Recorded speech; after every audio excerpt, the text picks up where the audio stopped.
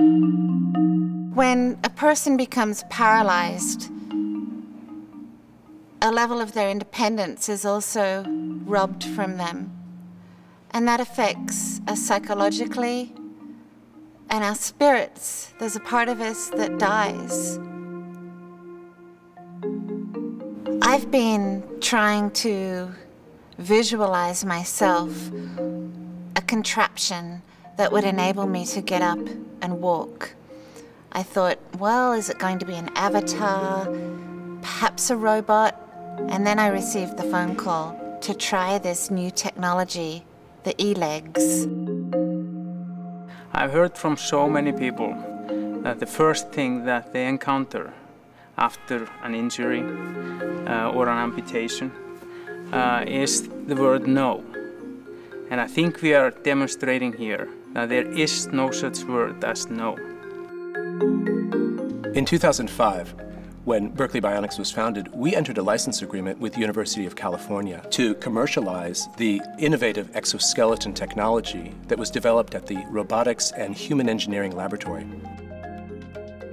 eLEGS is, as an engineer, one of the most satisfying projects to work on because it's an integration of so many interesting talents. Mechanical engineering, electrical engineering, programming, control. And really when you bring all those aspects together, that's when you get a really innovative product.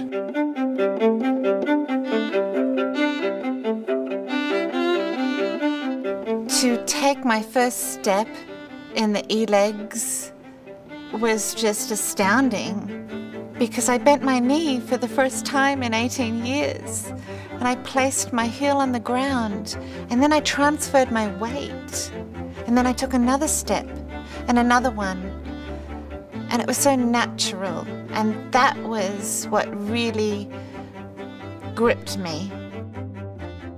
In my field of spinal cord injury, uh, we work with people who typically are paralyzed for the rest of their life for the first time in history, we can start to think about giving movement back.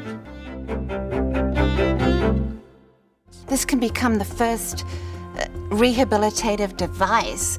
After someone's injured, they go from walking right back to walking. While they still have the muscle memory within them, they're able to power up and walk in a very safe, tethered environment. But to keep those muscles firing, to weight bear on their legs, keep the blood circulating, their digestive systems working well, there's huge therapeutic benefits for this device that then will become a preventative measure in the long term because our bodies are meant to be walking upright and moving. In the future, we will introduce another device that is specially designed for homes. That device will actually allow you to step in it in the morning, go and have your breakfast, then you drive off to work, even wearing it. You can walk in the park, you can go with your friends to the ball game, and it's uh, pretty much your companion during the whole day. The most exciting possibility for the eLEGS for me is to take it outside into the real world. I'm not meant to be in my wheelchair, sitting down and rolling. I want to be tall in my body, to walk on sidewalks, to go into a restaurant. I'm doing it! but most importantly, to hike in nature. This is not a wave of the future. The eLEGS is happening right now. I don't have to be hopeful. This is reality.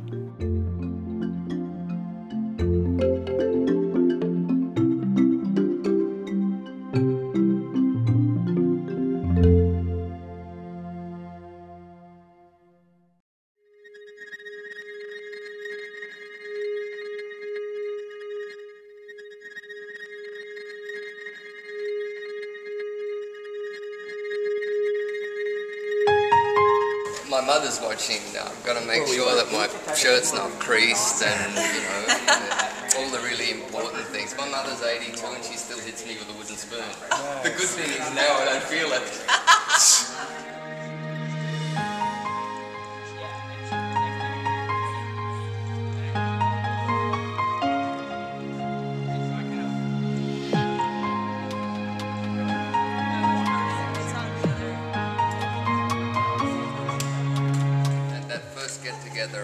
San Diego in uh, Carlsbad after when I first went to Project Walk.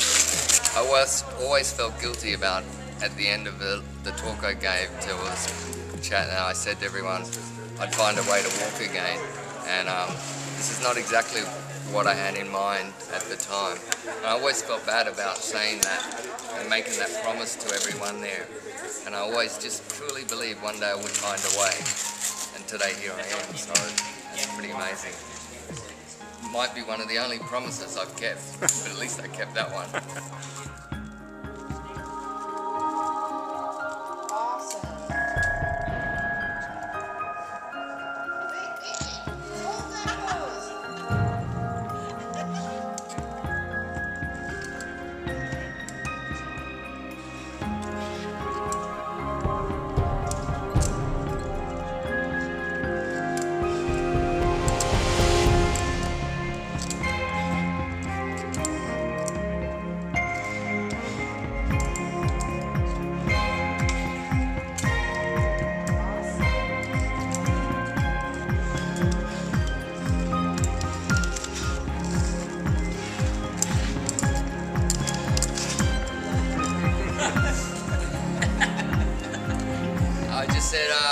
next few days I'm going to be critiquing everyone walking, watching everyone walking, going, oh yeah, I've never thought about that. I know. I always believed I would find some way to walk again, and even though it isn't exactly what I had in mind when I first started out, I'll take it with both hands and smile all the way.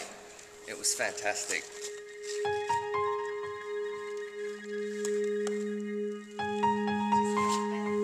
Know the greatest thing is that how I feel right now, I'll be able to one day let other people, hopefully at home, feel that way.